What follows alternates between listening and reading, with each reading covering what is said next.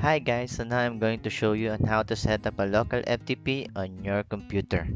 So it is important to set up a local FTP, especially when you are developing something that is related to FTP, especially if you have a slow internet connection. So you don't have to test directly to the server, so you can just test it on your local machine. Okay, so let's start. So I'm still going to use my virtual machine, which is running a Windows 10. Okay, so let's type epp wiz.cpl okay so which will open the program and features. Okay let's click again turn on windows features. Okay let's maximize this. And then let's go under IIS service and you can see here there is a FTP server. So we just need to click here and then click OK to start the setup process.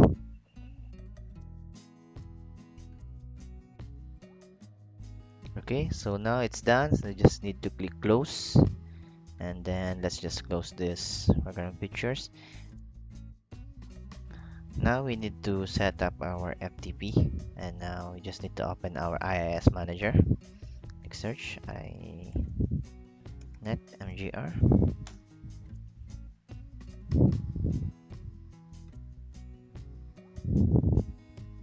let's just maximize it. And then maximize. And here under sites let's just right click and then up, add FTP site.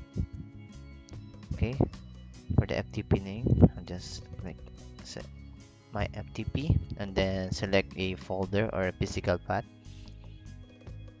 Okay so I'll just select a folder. So I'll just select my FTP of course you can create any folder name that you want.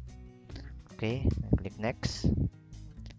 And then IP address all assigned. Of course including the local host 127.0.1 and of course we don't have SSL let's click no. And then click next. And then anonymous. And then all users. And then read write. Okay. Finish. Okay. So here is our FTP application. So to test let's open a browser. Here I'm going to use uh, Microsoft Edge let's type ftp and then slash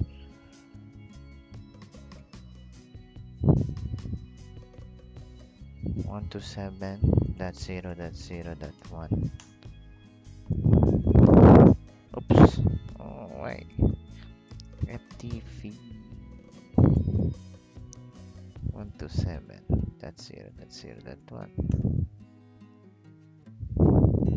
Okay so as you can see we are now browsing our FTP so let's try adding a folder or a file inside our example file. Here my FTP let's just minimize this. Just create a folder sample and then let's click refresh here. So as you can see it reflects here.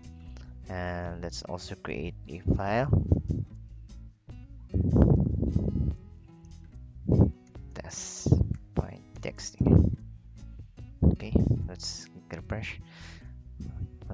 Okay. So as you can see it's now our FTP is working. So you can also use uh, any FTP client like CuteFTP or FileZilla to access this uh, FTP site.